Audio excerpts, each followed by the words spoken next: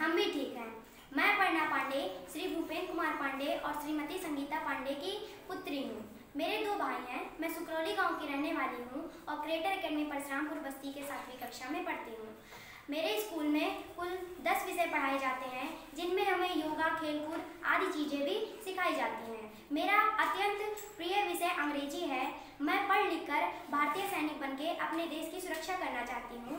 मेरा संपर्क सूत्र चौरानवे पचास तेरह पचासी तिरालीस है। धन्यवाद।